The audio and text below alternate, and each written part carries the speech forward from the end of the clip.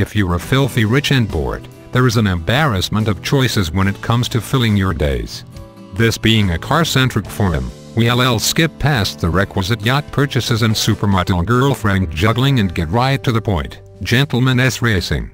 Everyone is doing it, from Lamborghini and its Blancpain single make series to Maserati Trofeo single make series, as well as whatever it is Ferrari expects FXXK buyers to do with their A series less multi-million dollar track toys.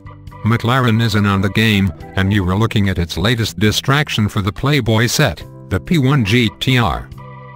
The GTR is a P1 transformed into a track weapon, a curious distinction given how insane the road-going P1 hypercar already is. No matter, McLaren's Woking crew seems to have found a way to extract even more performance out of the P1, and they are setting the result loose in a P1 GTR racing series, starting later this year.